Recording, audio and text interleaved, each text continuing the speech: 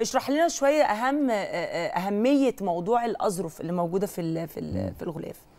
هو لأنه عاش 100 سنة فهو عاصر الفترة اللي كان فيها فكرة الرسائل. الرسائل اللي بتتبعت من من الناس كان بيجي له رسائل من هو كان لأنه كاتب روائي فكان بيجي له رسائل من معجبات كان بيجي له رسائل من النساء اللي هو عرفهم فهو لما أما بدأ يفكر إن هو يستعيد الذاكرة تاني فبدأ يفتش في الرسائل القديمة اللي كانت متاحة عنده. فده ده جزء من اللي ترجمه مصمم الغلاف علشان يعمل الشكل اللي إحنا شفناه في الغلاف.